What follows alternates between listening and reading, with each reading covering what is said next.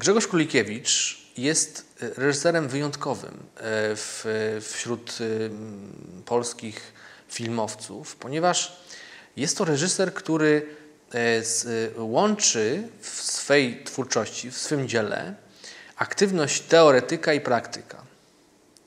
Można powiedzieć tak, że jeżeli ideałem filmu jest na przykład Obywatel Kane Orsona Wellesa, film, w którym wyrafinowana forma jest nośnikiem skomplikowanych egzystencjalnych treści, i idąc tym tropem, można powiedzieć, że idealny film to jest taki film, gdzie odpowiednio przemyślana i wykorzystana forma filmowa jest nosicielką skomplikowanych treści egzystencjalnych, to podług tej klasyfikacji kino Grzegorza Królikiewicza i jego filmy, jego dzieło filmowe no, stanowi, można powiedzieć, rzecz wyjątkową w polskiej kinematografii, ponieważ to właśnie Królikiewicz na potrzebę swojego kina opatentował teorię formalną, która, której zastosowanie pozwoliło mu na ujęcie, na opowiedzenie, na wypowiedzenie bardzo skomplikowanych, bardzo złożonych treści związanych z, z patrzeniem na człowieka, na rzeczywistość jako na, jako na bardzo złożoną strukturę, która jest daleka od jednoznacznych wykładni, od jednoznacznych określeń. Zresztą przywoły, przywołanie obywatela Keina w kontekście twórczości Grzegorza Królikiewicza nie jest bezpodstawne, ponieważ Grzegorz Królikiewicz jest reżyserem, który wpisał się jakby na niwę polskiej, polskiego filmoznawstwa również wspaniałymi analizami arcydzieł światowego kina, w tym właśnie obywatela Keina. No dość powiedzieć, że książka zawierająca analizę obywatela Keina pióra Grzegorza Kulikiewicza, czyli słynna Różyczka, stanowi wzorcowy przykład analizy filmu, wydobywającej właśnie poprzez analizę formalną to, co jest najistotniejsze w filmie Wellesa, czyli przypowieść egzystencjalną o, o w, w skomplikowanym ludzkim życiu, w którym najważniejsza jest miłość, prawda? Której bohater, którą bohater chce zdobyć, ale nie może osiągnąć.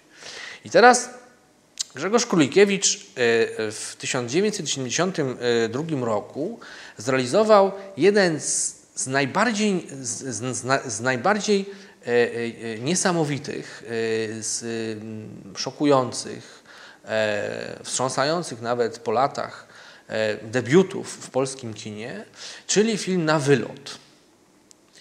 Film Na wylot, scenariusz tego filmu pióra samego Królikiewicza został oparty na bardzo głośnej w latach 30.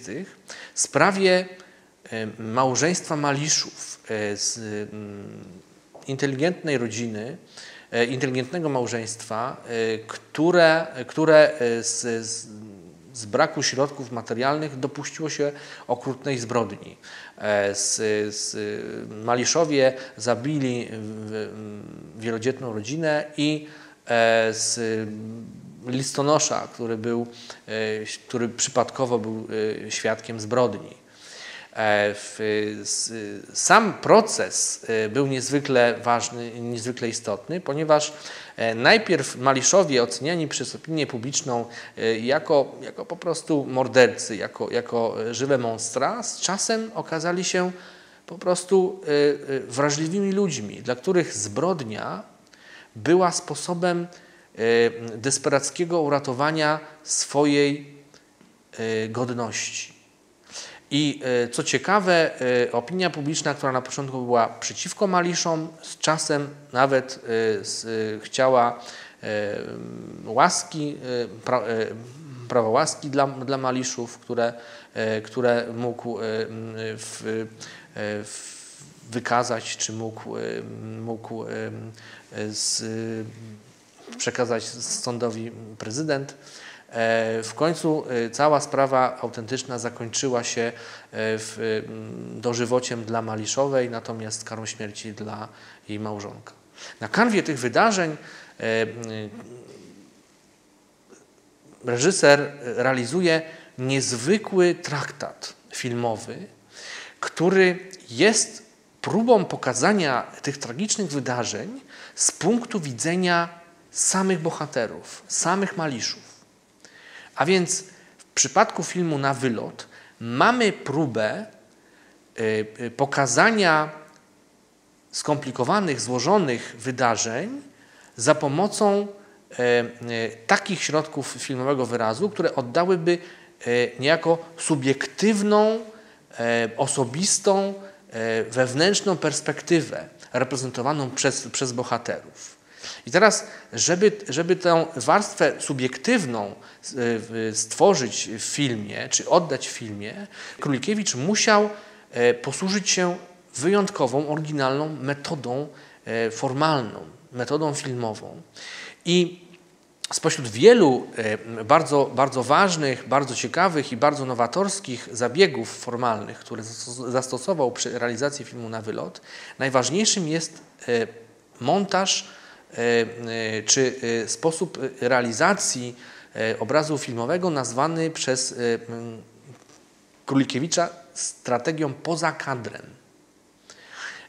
Na czym ta strategia polegała? Otóż E, w, e, najprościej rzecz ujmując, e, Królikiewicz w, przede wszystkim w scenie morderstwa szokującej, wstrząsającej, odwołał się nie tyle do tego, co widz widzi, co do tego, co widz sobie wyobraża na podstawie pewnych znaków obrazowych, dźwiękowych, które do, do niego dochodzą.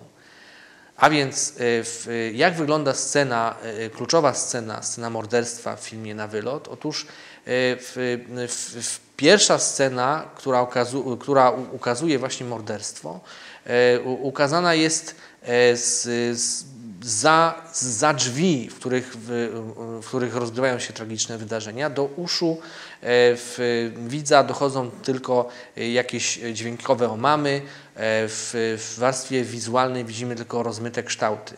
Czy tak naprawdę cała groza, okrucieństwo e, zajścia jest budowane przez wyobraźnię widza prawda? Przez, przez to, jak widz sobie y, tą scenę, y, tą, y, tą scenę wyobraża. A więc wyrzucenie właściwie najważniejszej sceny filmu poza kadr wciąga widza do twórczej pracy, do twórczej współpracy, do współtworzenia dzieła filmowego na równi z reżyserem, na równi z autorem. Ta demokraty, demokratyczna strategia tworzenia dzieła filmowego, e, która parokrotnie jeszcze e, w filmie Na wylot się pojawia, a później też i w kolejnych filmach Królikiewicza jest wykorzystywana, poszerza możliwości filmowego medium, jakby wciągając widza w obręb przedstawionych wydarzeń, czyniąc z widza już nie tylko biernego obserwatora, biernego widza tragicznych wydarzeń, ale po prostu jednego z uczestników e, w e, historii, opowieści e, świata przedstawionego, stworzonego przez Królikiewicza. E, oczywiście nie tylko e, wykorzystanie przestrzeni poza kadrem jest e, tak istotne w, w realizacji filmu na wylot.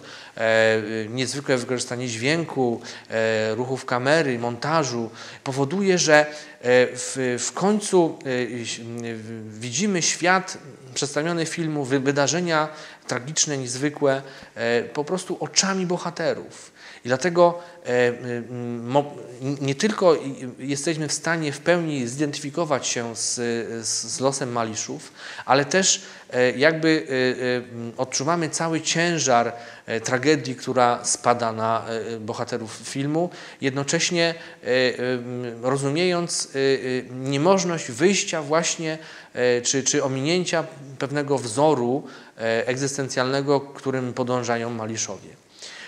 I ta forma, która niesie właśnie tą treść egzystencjalną, tak naprawdę prowadzi do niezwykłej konkluzji, wokół której krąży film Królikiewicza. To znaczy, jest, film Królikiewicza jest, wielką, jest, jest wielkim panem na cześć ludzkiej godności, która no, często może doprowadzić do zbrodni, ale jednocześnie pokazuje możliwość wybaczenia, możliwość e, pozbawienia e, tej zbrodni właśnie odium demoniczności, odium zła poprzez miłość. Bo tak naprawdę film na wylot jest filmem o uzdrawiającej mocy miłości. To jest film, który pokazuje w jaki sposób e, tak naprawdę nawet przez tą zbrodnię, nawet przez to zło przebija wielka miłość, wielka, e, wielkie oddanie Maliszów, którzy, e, co zresztą e, Królikiewicz pokazał w finale swojego filmu, brali całkowitą odpowiedzialność za zbrodnię na siebie. Znaczy Malisz chciał uwolnić od odpowiedzialności żonę, żona chciała uwolnić od, od, od odpowiedzialności za zbrodnię Malisza.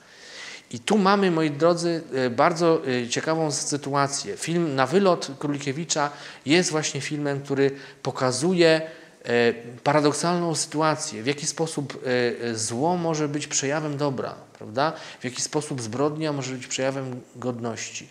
Oczywiście możemy się nie zgodzić z tak postawionym problemem, ale wielkość filmu Królikiewicza polega na tym, że E, poprzez sztukę filmową Królikiewicz może nam pokazać taką sytuację. E, e, sytuację, wobec której nawet nie, nie stajemy jako widzowie, ale jako współ, współuczestnicy całego dramatu. Twórczość Królikiewicza późniejsze jego filmy oscylowały, czy, czy szły właśnie w tym kierunku, żeby pokazywać e, bardzo często dylematy e, ludzkiej egzystencji, które, e, które są dalekie od jakby prostych rozwiązań. Sam Królikiewicz, który uważa się za człowieka głęboko wierzącego, za człowieka, który, który patrzy jakby na ewangeliczne wzory egzystencji, tak naprawdę w swoim, w, swoich, w swoim kinie jest daleki w takich filmach jak Tańczący Jastrząb, jak Fort 13, jak Zabicie Ciotki, czy Przypadek Pekosińskiego, jest daleki właśnie od takich jednoznacznych e, wskazówek. Jego kino e, skomplikowane formalnie e, pokazuje, że ludzkie życie też jest czymś skomplikowanym.